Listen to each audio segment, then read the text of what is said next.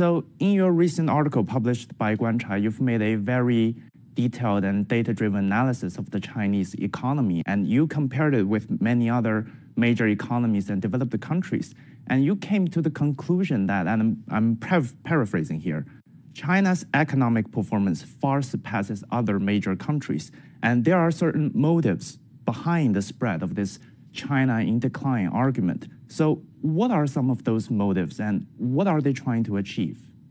Well, the first thing that they're trying to do is conceal the facts. I mean, the, the situation is extremely clear.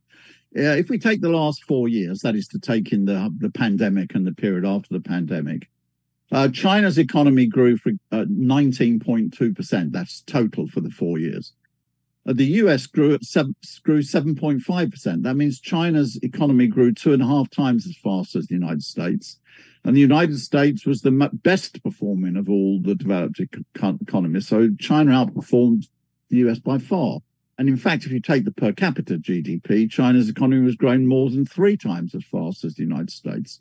But you have an absolutely bizarre situation where instead of discussing why is China's economy far outperforming all the other major economies, a, a very weird discussion is taking place in the US media about um, how the US is doing very well and China is not. And this is completely out of line with the facts. There's two reasons, I think. One is subjective and one is objective. The subjective one is that they want to try to persuade foreign companies not to invest in China by saying China's economy is not doing very well, et cetera, et cetera. It's completely untrue, but nevertheless, people may read these things in the media. And secondly, they want to try to spread some demoralizing rumors in China or something like that. That's subjective ones.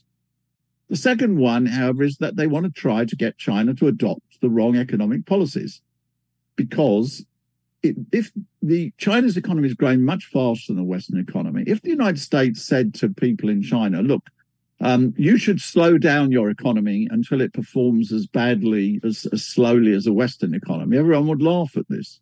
They'd think it was ridiculous.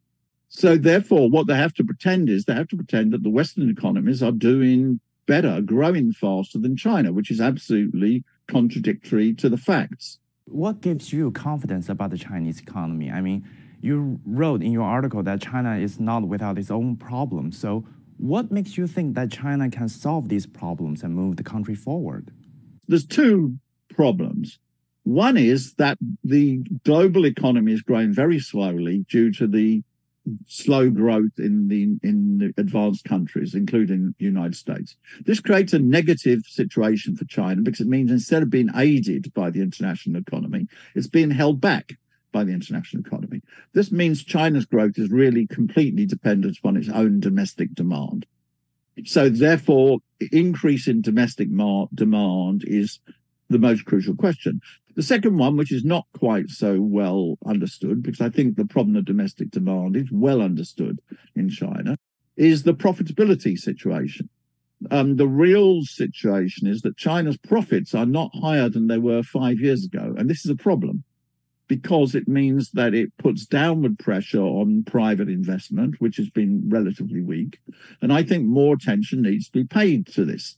But these are relatively small problems compared to the very slow growth which is happening in the United States.